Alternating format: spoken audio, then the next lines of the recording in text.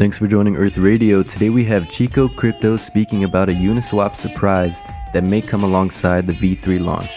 If you like our summary videos, check out the Earth experiment at earth.io. Uniswap, it may have a surprise tomorrow itself besides the launch of V3. Founder Hayden tweeted this May 1st.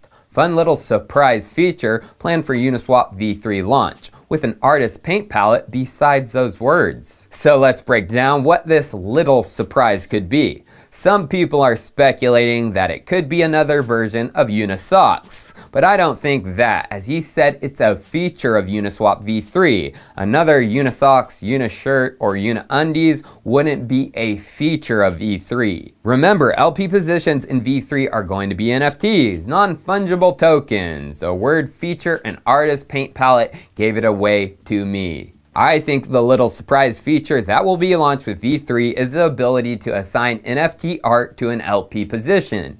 And we can find that in the periphery contracts of the V3 GitHub. A recently closed issue within the last month is NFT metadata in token URI. That issue is closed, meaning it's ready. But before we dive into what was said in that issue, what is token URI?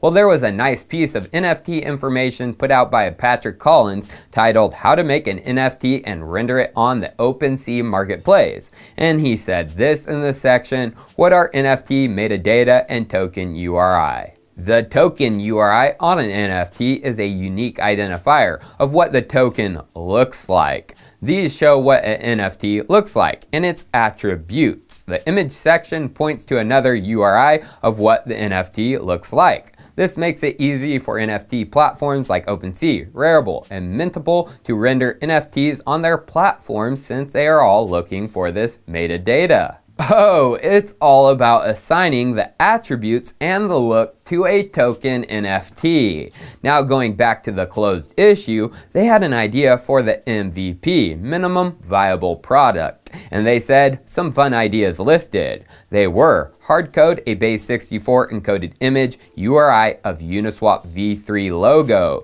should be SVG for file size SVGs per different fee level, question mark, special image for uni positions, question mark, animate the SVG.